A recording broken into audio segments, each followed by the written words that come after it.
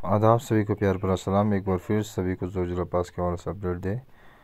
तो कल आठ तारीख के हवाले से पुलिस, डिस्ट्रिक्ट पुलिस कारगिल की जानब से जो एडवाइजरी जारी हुई है, वो हमने स्क्रीन पे आपको दिखाई है और साथ में आपको बताते हुए चलें कि कल जोजिला पास पर गाड़ियों की आमदरफ्त वो की जाएगी और कल मूवमेंट सोनामर्ग से मैना मरग की ओर होगी। यानी कल सोनामर्ग से लद्दाख की ओर लाइट मोटर व्हीकल्स को जाने की इजाज़त दी जाएगी, जिसमें गुड और पैसेंजर गाड़ियाँ होंगी।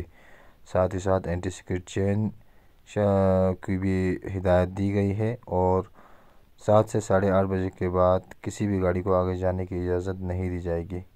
याद रहे, सात से साढ़े आठ बजे तक T C P Sonamarg cross करनी है, उसके बाद किसी भी गाड़ी को आगे जाने की इजाज़त नहीं दी जाएगी। और साथ ही ये भी कहा गया है कि किसी भी हेवी मोटर व्हीकल को फ़िलहाल जाने की इजाज़त नहीं दी गई है। Further order of the concern higher authority तो फ़िलहाल हायर अथॉरिटी से कोई ऑर्डर आने तक किसी भी हायर, किसी भी हैवी मोटर व्हीकल को आगे जाने की इजाज़त नहीं दी गई है। तो कल के हवाले से एडवाइजरी आपको दिखा रहे हैं और कल जोजिला पास पे आठ तारीख को सोनामर्ग से लद्दाख की ओर गाड़ियों को जाने की इजाज़त दी गई है। बने रहिए लद्दाख के साथ।